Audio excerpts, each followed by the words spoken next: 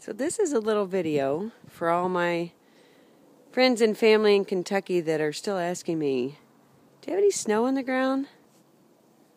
So here's our sheep pasture.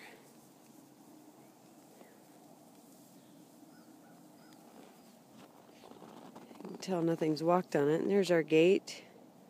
We're under a little bit of snow. There's Woody.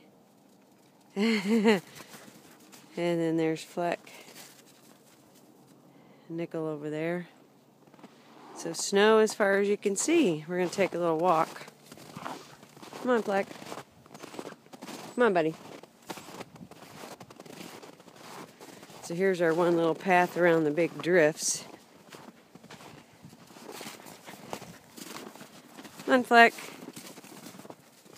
It's kind of bouncy. Come on, Fleck, that'll do. He's trying to hold the sheep.